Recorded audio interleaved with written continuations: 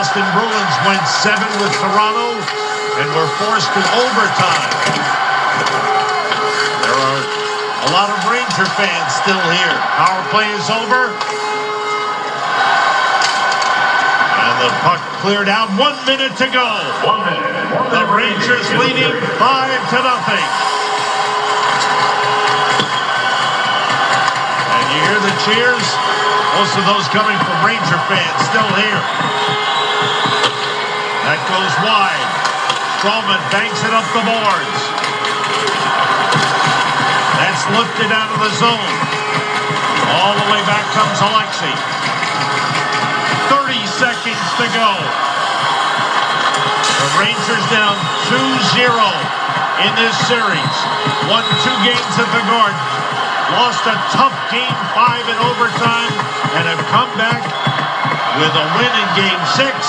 And in 15 seconds, they will celebrate winning this series in seven. Five seconds to go. Henrik Lundqvist with back-to-back shutouts, and the Rangers win the Eastern Conference quarterfinals in seven. Go blue shirts. Final Samsung goal. What a job. What a comeback in the series.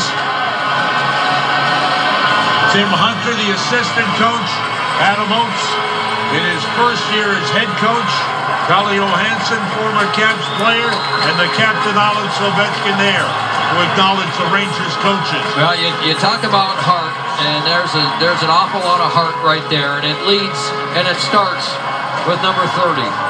I they feed off of him. They feed off of his intensity. They feed off of his professionalism. They feed off of his preparation. And how many times over the course of the season did we see Lundqvist, you know, win games when the team was having trouble scoring and keep them in it, keep them in the playoff race, going down the stretch. And even in this series, you know, the performances that he's put on in this series the spectacular variety. And again, he got them off to a good start tonight because they came out flying. And there's, you know what? That's sportsmanship right there.